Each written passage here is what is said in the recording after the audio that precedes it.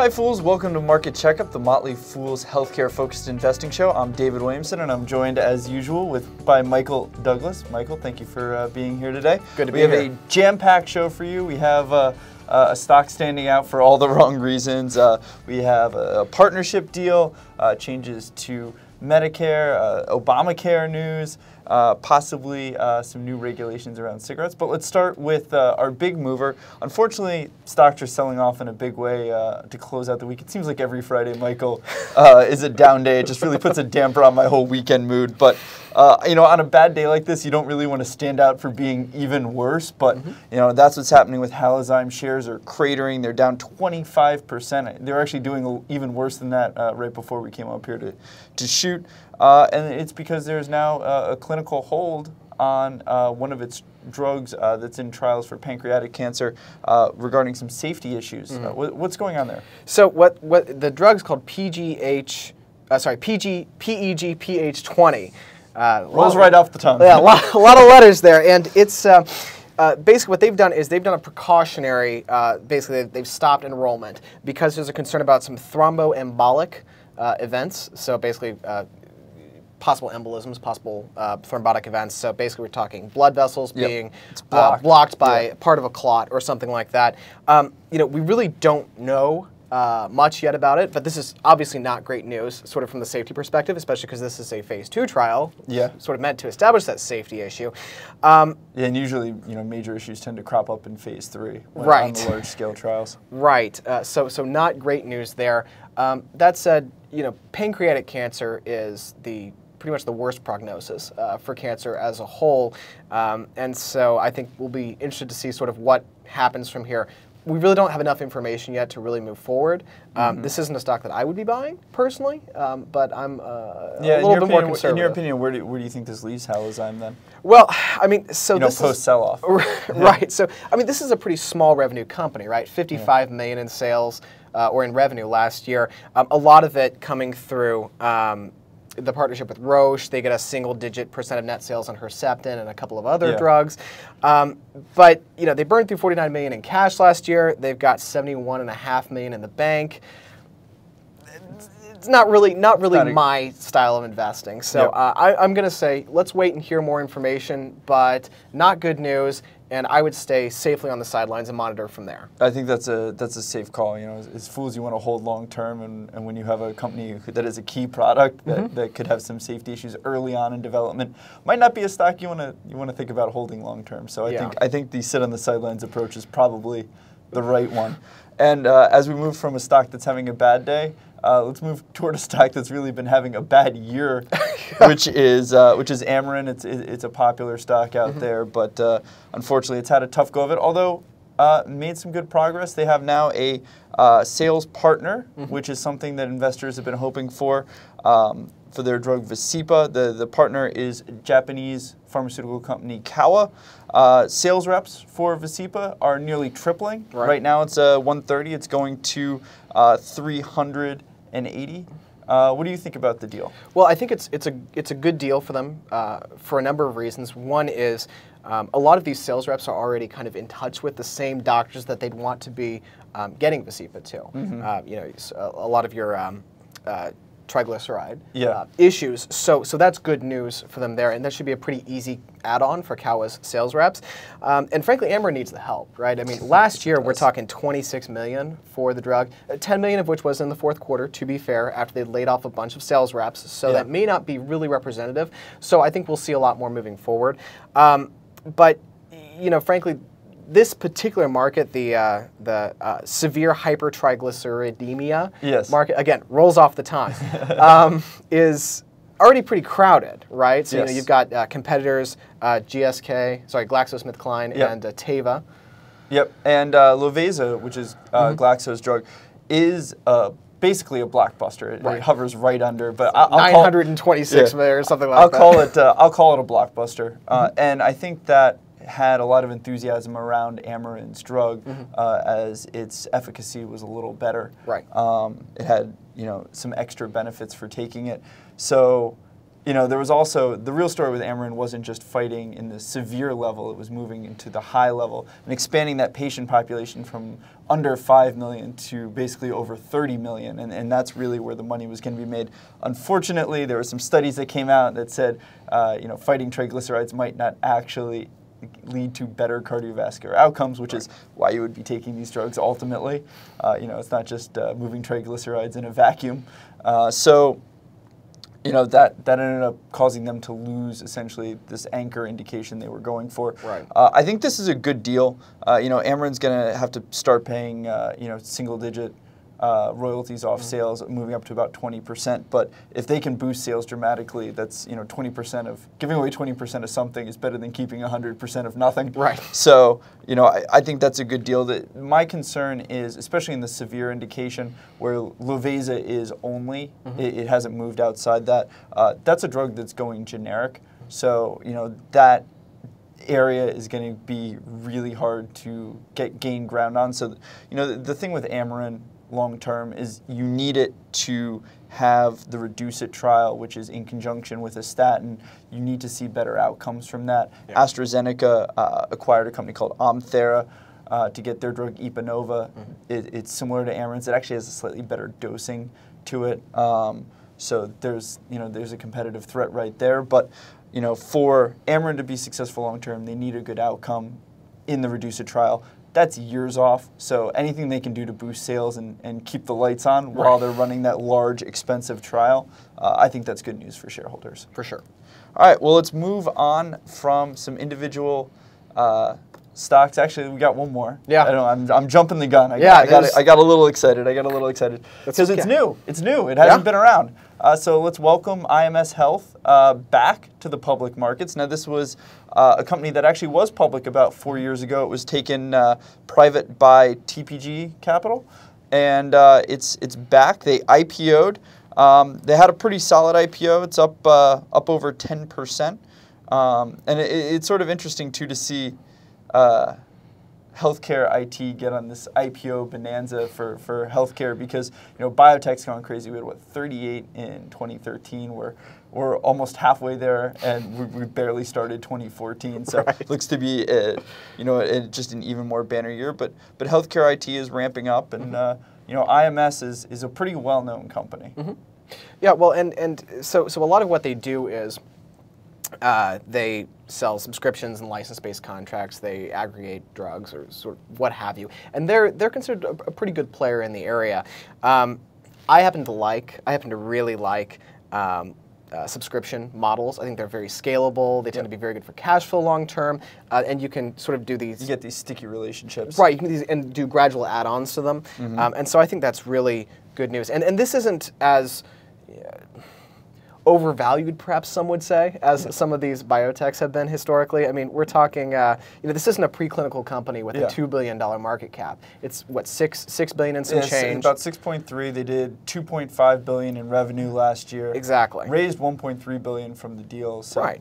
Um, operating margin in the mid-teens. Yeah. So, so really, I, I like what I'm seeing. Um, I think we'll want to see some more revenue growth. Uh, yeah. They, have been pretty pretty slow on the uptake there for the last three and, years. And I think they, they have been acquiring some companies. They spent about uh, almost a billion dollars. I think it was around 900 million. Right. Uh, trying to get some new additions and, and grow, become a little more consumer facing. Right. So we'll see how some of that M&A is accretive to EPS long term. But uh, but overall, you know, I, I, feel a lot better about that than I have about a lot of the IPOs so far this well, year. Well, I think even in healthcare IT too, because you, you look around and uh, it's – it, you, you see some companies that resemble in a lot of ways more that biotech model where they're sure. still trying to figure out what they're doing and, and there's been a lot of enthusiasm for how uh, you know, big data and access to information in healthcare IT can change things. But I mean, you know, Castlight is is a great example of Classic this, right? example. Which which uh, you know, it, it had a pop, right? Mm-hmm. And it's basically traded down every day since. It's it's down 43%, I think, since the IPO. I believe you yeah. thumbed it down in caps. I, I, did, and I'm very pleased about that too. Everyone should play Motley Fool caps out there. It's uh, it's worth your time. Oh, it's, oh, for it's sure. A lot of fun.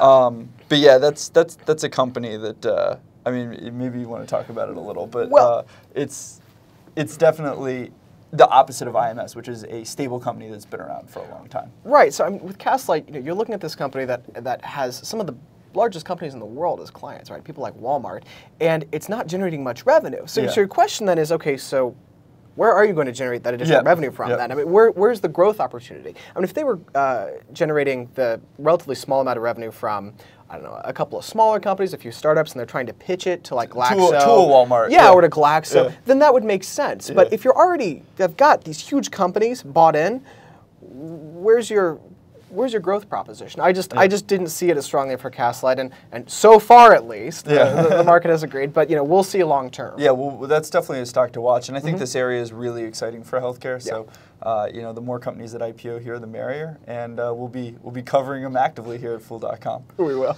So uh, let's move on. Now we're going to move on to Medicare. All right. Uh, I was just so excited, Michael. I appreciate it. And uh, although I think uh, a lot of people in hospitals aren't excited about some of the changes that are becoming to Medicare, and, and especially when it comes to diagnosis codes. Uh, you know, a lot of the Affordable Care Act was designed to streamline and, and, and make things easier and, and uh, promote. Uh, you know, there was promotion of electronic health records in the HITECH Act, but it looks like diagnosis codes at hospitals have gone from 16,000 all the way to 68,000. So it's a lot more specific, but a lot more complicated. Right. Well, and so you know this particular change, the the move from ICD nine to ICD ten. Yep. Um, also, by the way, procedures three thousand to eighty seven thousand codes. So a big difference even more. there. That's even more. Right. So that's been delayed for a year now with Yeah. the uh, sustainable growth rate patch in Medicare that was passed earlier this Which is week. the doc fix. Right, exactly. That was passed earlier this week. Um, this is going to be really good for generating better specificity. Um, something that you and I have talked about a lot here uh, is things like ACOs um, and population-centered health. These are going to give the sort of uh, ability to drill down and really understand what's going on. Um, that's going to really help uh, as sort of integrated care, population health management really becomes more of a thing. Yep. Um, if that, in fact, as we believe is a long-term trend, continues to be a long-term trend. Um, so I think long-term it's going to be a very good thing. Yeah. Obviously there are going to be some growing pains, Yeah, especially when you're growing from you know this amount to this amount in I, I, terms of codes. I think one thing we've seen is that implementation when it comes to large scale health policy changes is a lot easier said than done. Right. And I think that's why this delay makes a lot of sense. It, it gives these companies a one year reprieve to really hopefully get everything working uh, by the time they need to. of course, as you can imagine, there are some people who are very unhappy about this. Yeah. Uh, Athena Health, Cerner, McKesson, a lot of your EHR companies. Um, Athena, actually, the COO, Ed Parks, said, it is alarmingly clear that healthcare is operating in an environment where there is no penalty for not being able to keep pace with necessary steps and deadlines to move the industry forward. Uh, our system is already woefully behind in embracing technology to drive further information quality. Uh, so obviously, Athena, not too pleased about it. Yeah. Um, and, and- and understandably so, right? Because they've been prepping for this. It's they have deferred been- business for them. Exactly. They've Yeah. been selling these products, and Yep. now the value proposition moves back another year. Um, nonetheless, you know, I think this is a great space to be in with Yep. these sort of uh, healthcare IT companies. Um, you know, you've got Cerner, uh, for example, which is really uh, moving to try and challenge Epic Systems, which is privately held um, in the large hospital IT market. Yep. Um, between them and Epic, it's 75%. Yeah, Epic is really the dominant Oh, player. for sure. Um, Epic has uh, about two large hospital contracts for every one Cerner does. Yeah. But between them, they're about 75% of that large hospital market. So that's good news for Cerner shareholders, obviously. Um, and uh, you know, McKesson's a bit more kind of a kind of more broad based. Uh, they Yeah. do some of the the pharmaceutical sourcing. Uh, they just um, signed a new deal with Rite Aid, uh, extending their relationship through 2019, um, and they uh, um, do the sourcing and distribution for them. And then finally, of course, you've got Athena Health, uh, Yes. which is a lot smaller, growing a lot faster, right? So revenue's up. Uh, it's more than tripled in the last five years to about 600 million. Um, of course, what that means is when you're growing that quickly, you're going to have a very rich valuation, and Yes. it's uh, and they do. uh, it's uh, I, I, a little over 2,000 times trailing earnings per share uh, for the past 12 months. So definitely a space we're going to want to watch uh, very closely, and, and we'll be reporting, I think, on, on more as it comes. Yeah, absolutely. Uh, Athena looks a little better when you look at uh, forward earnings estimates, but Right. still, it's uh, it's pretty astronomically Yeah, high. it- but it's a pretty expensive company. but they're in a good place, and they've done a good job. Mm-hmm. Uh, you know, working with the government and, and getting uh, getting their systems implemented, and, and they're being aggressive. I, I, I think of those, that's definitely a stock that you want to watch. yeah, for sure. Uh, all right, so let's move from Medicare to Obamacare, which is everyone's uh, Favorite topic. everyone's favorite topic. it's, it's our weekly segment. But uh, big news: Yeah. the open enrollment period ended. Uh, so this is our first show post open enrollment. Uh, we had bets of where it would end up. We were just hilariously low. um, your original guess was six million on the nose. Mine was five point nine, which I then bumped up to six point three. Uh, I'm going to give you the victory, the I original victory. um, it comes in at seven point one. Neither of us are really victors though for being so far off. But you know what? Everyone was off. I really, I don't feel too bad about this because just we knew there was going to be a surge at the end, Mm-hmm. but I think the size of the surge is what really. Uh, took people off guard but yeah 7.1 million is Mm-hmm. the official enrollment number Right. Well, and of course, that doesn't include Medicaid uh, expansion. That doesn't include the, Yep. the sort of woodwork effect in Medicaid, where a bunch of people who were previously eligible for Medicaid, when they started hearing about it, they said, "Oh, well, wait a minute, I've always been eligible. Let me go ahead. Look, now's a good time." Yeah. Um, you know, people uh, enrolling on their parents' insurance through age 26. Yeah. Uh, people getting in, i- individual insurance on a, on a private market or just not on the exchanges. So, so there's been a, a real boost here in the in the insured population from the Affordable Care Act. Um, and it's going to keep going. I mean, that's the thing. Yeah. We, we talked about that expansion into, you know, we don't know when enrollment's actually going to end. If you, uh, you know, you had some difficulty signing up, it, it turns out they've clarified that it's going to be 60 days Mm-hmm. uh, of additional en- enrollment, which should probably take that number. You would think over 8 million probably. Um, there's probably about that much out there. And then you have the special enrollment period. Mm-hmm. So enrollment never really totally ends, but open enroll it's you have to have these deadlines. But uh, even though open enrollment's over, special enrollment's for you know maybe you lost your job and you lost insurance through your job, then you can still go get an Affordable Care Act plan. Um, and there's probably another what five million or so people, uh, four to five million that, that are probably going to enroll through that uh, through the year. So. Uh, I wouldn't be surprised if we saw some churn. I, how much I think is going to be really, really difficult to identify, but uh, but certainly, certainly some movement there. Yeah, and I mean the the amount of reasons you can uh, you can update it. I mean they're pretty. It's it's pretty specific. There were some there were some. Uh, you, you don't even need like complete um, complete. Uh, documentation for most of them so you Right. can just say you know oh i couldn't enroll because of an error message or you know you know there was some sort of system error or um, you know there was a natural disaster of some Right. kind you know my house flooded i couldn't sign up in time Sure.